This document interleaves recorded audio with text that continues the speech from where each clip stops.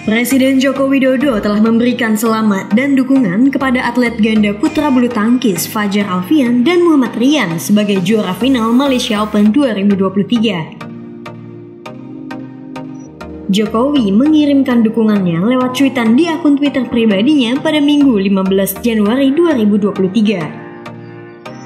Selain kepada Fajarian atau Fajri, Presiden juga mengirimkan apresiasi kepada para pelatih dan tim bulu tangkis Indonesia yang telah bertanding di gelaran Malaysia Open 2023.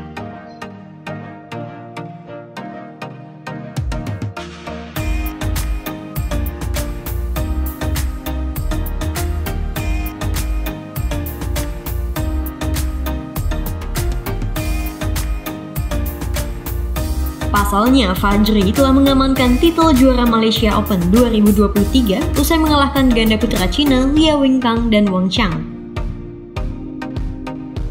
Ganda putra Indonesia itu mengalahkan Cina dengan skor akhir 21-18, 18-21, dan 21-13.